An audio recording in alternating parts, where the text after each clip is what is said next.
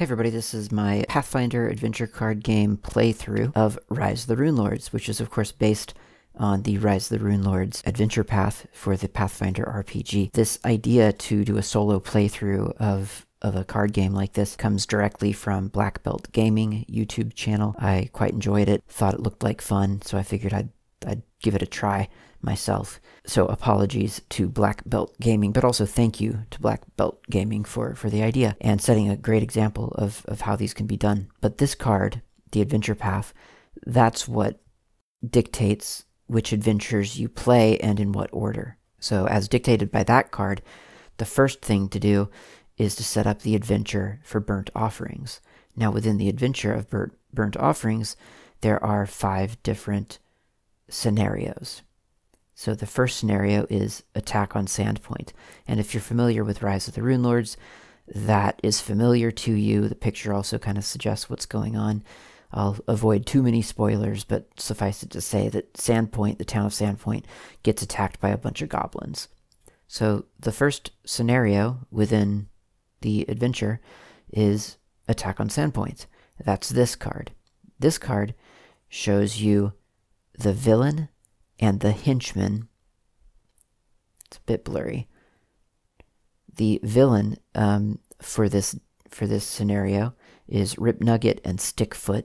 So it's a, a two villain on one card scenario, and uh, there are two henchmen, Tsuto Kaijitsu and uh, Goblin Raiders. And the Goblin Raiders is the generic one. Tsuto Kaijitsu is a, a, named character, so there'll be one of him, there'll be one of Rip Nugget and Stickfoot, and then the Goblin Raiders, the generic henchmen, uh, will be seeded into the decks. Now, there's one global rule for this for this um, scenario, and that is if you defeat a monster with the Goblin trait, roll a d6. On one, each character at each location takes one fire damage. So that's important to remember. I will probably forget it, but that is kind of important to remember because there are lots of goblins.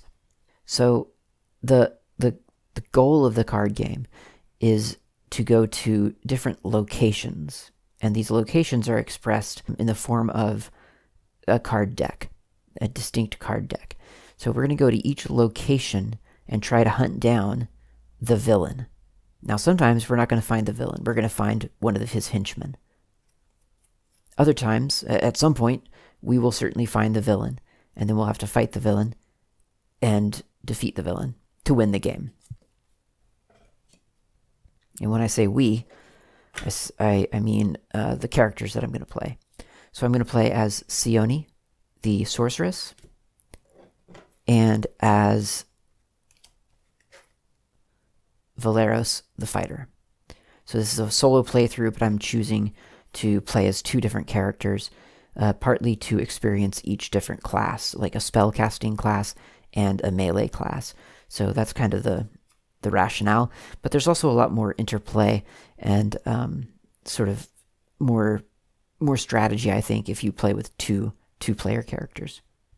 So the the very first thing that you have to do uh, when when setting up for this is you have to build the decks for the characters.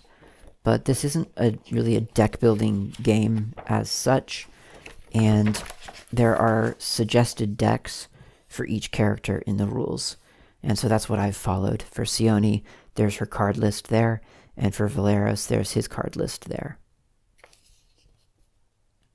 So based on that, I have gotten, I've drawn out for uh, Seoni a couple of spells invisibility and force missile. I feel like there's another one in here. Could be wrong.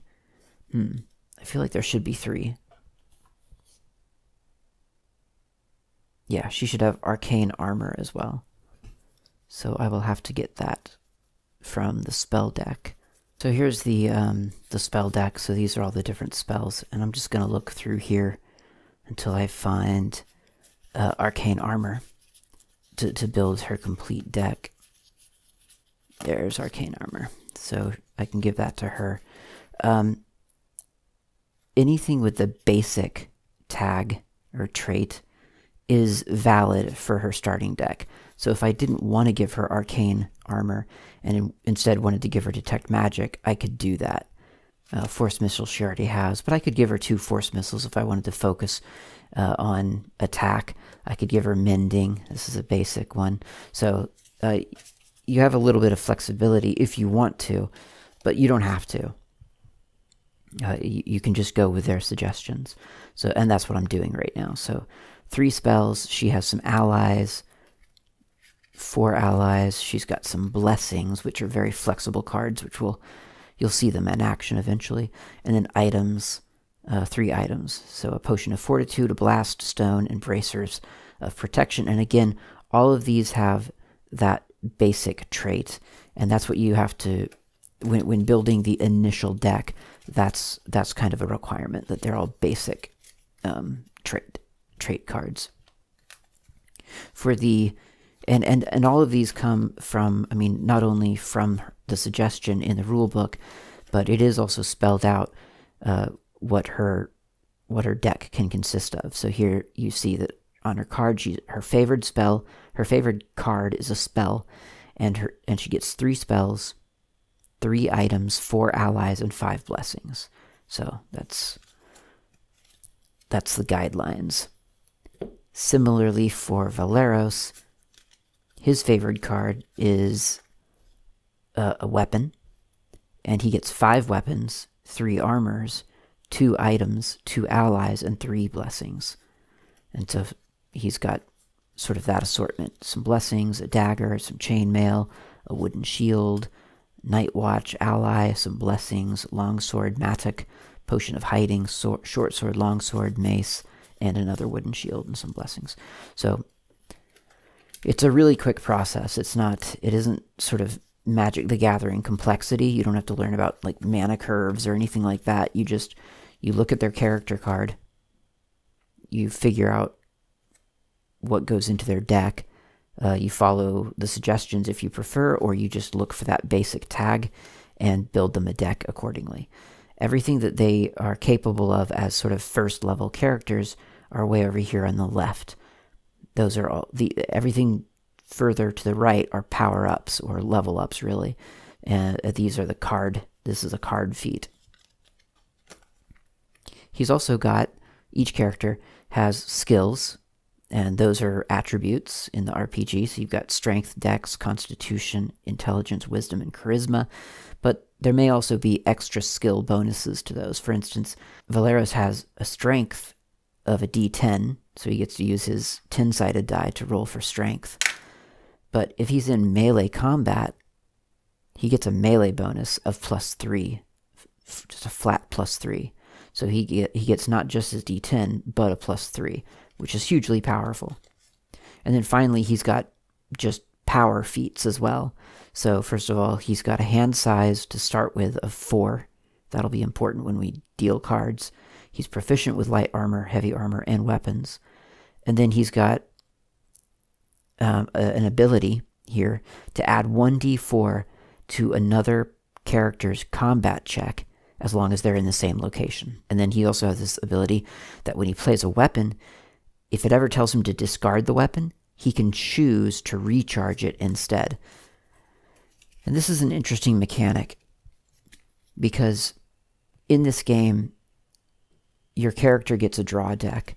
And so you'll be drawing from the deck that you've built, which I haven't shuffled yet, but let's just let's go with it. So that, that's actually a pretty good hand because you've got a little bit of weapon, a little bit of armor, an ally, and a blessing. So that could be his hand. Now, if he takes damage, he has to discard from his hand.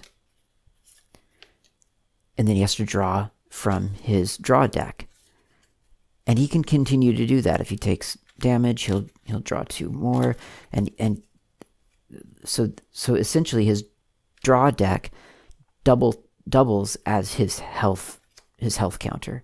Because if you draw if, if you get damaged a lot or you're, you're choosing to discard cards for some reason and you ever have to draw and there's nothing there to draw, then you're dead. That character's dead.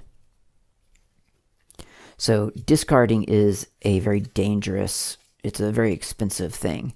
So anytime you can recharge uh, in that in that case, instead of discarding, you just put it under your your draw deck.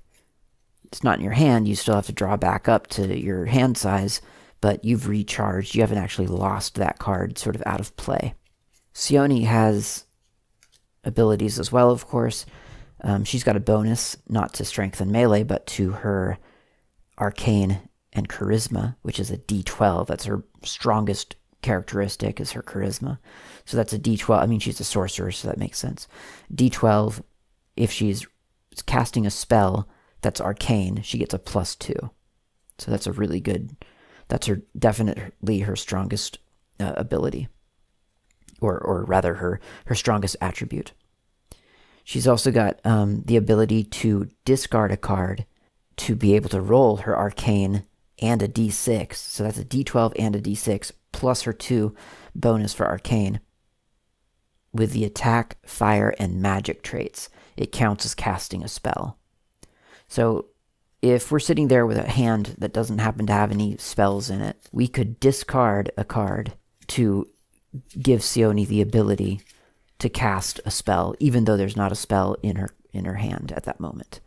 So that's really, really useful. I mean, it's expensive because she's discarding a card, but uh, when you're in a pinch, that's kind of important. She has also got the ability to automatically succeed at a check to recharge a spell, or, uh, yeah, a spell, uh, with the arcane trait. So if she's casting a spell, rather than a lot of spells say to discard the uh, the card in order to cast it, like Arcane Ar Armor here says, discard this card to reduce combat damage dealt to you by two. Well, she doesn't have to do that. She can do the recharge check, and she can choose to automatically succeed at that check, thereby just recharging that. So that's huge. Spells are a huge benefit to Seoni. So that's the that's the setup for the player decks. Now we need to build the location decks and the location, and I'll, I'll shuffle the player decks later.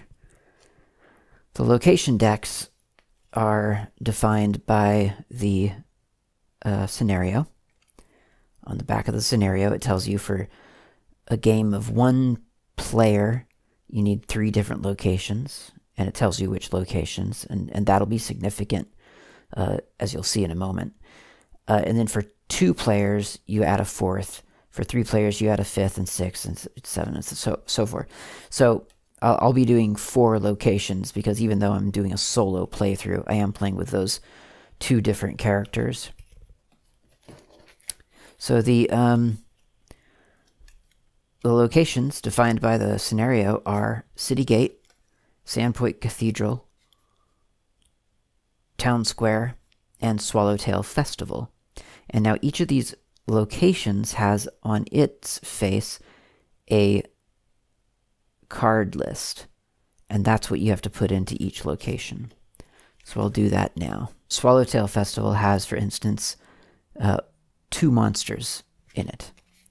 So I'll go to my monster deck and put down two different monsters. I guess I shouldn't really necessarily stare at them try to make it a little bit of a surprise for myself. Uh, and then a barrier. It needs one barrier. So it's a barrier card. And in real life, I wouldn't be looking at these cards at all. I mean, I guess you can. It doesn't really matter, but I kind of do like it to be um, kind of a surprise sometimes. So that's the Flaming Mace, Spell. Oh, Spell Zero. No spells in this location, no armor in this location. One item and two allies. So there's an item, and there's one ally and another ally. And then two blessings. Two blessings. So that's that location. Actually, I might as well just build them all while I'm at it. Uh, it doesn't take that long, as you can tell. So this one lists a barrier, two monsters, one weapon, and two spells.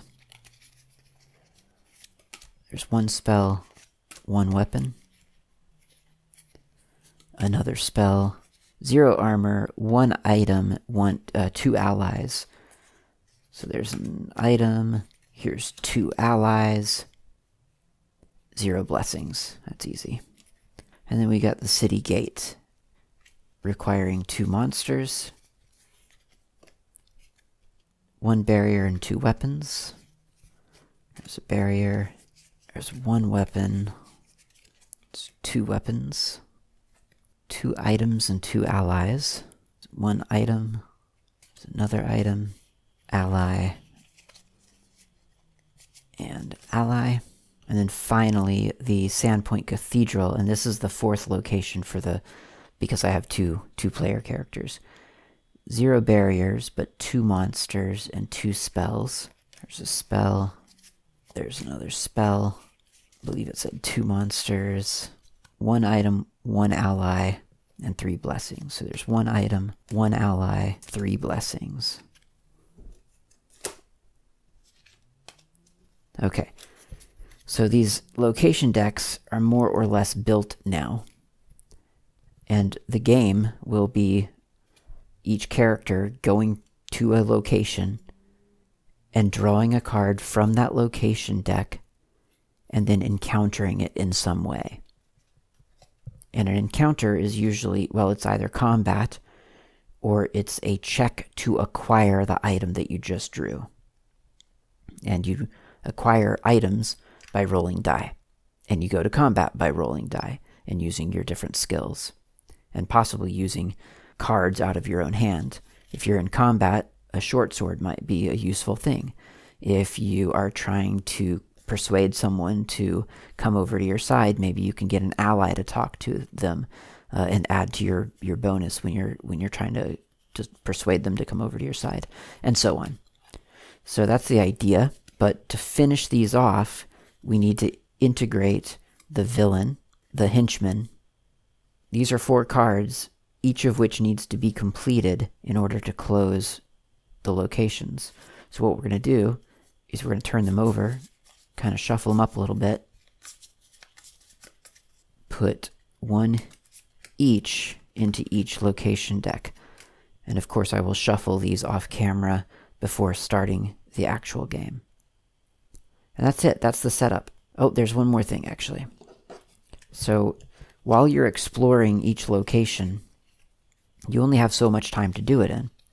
So, you count out 30 blessing cards, which, I mean, they could be any card, honestly. I could just use a, a standard playing uh, poker deck or something. Um, actually, that's not true. Sometimes it sometimes it's significant the blessing that's in the deck. But generally, this is just a timer mechanism. As, as, each character takes a turn, I'll flip over a card. And you do that 30 times. And when you run out, then the game is over, whether you have found the villain or not.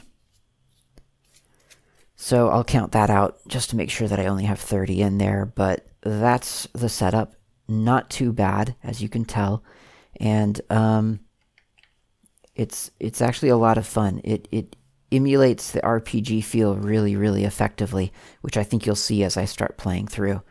And I will start playing through next time. Thanks for watching.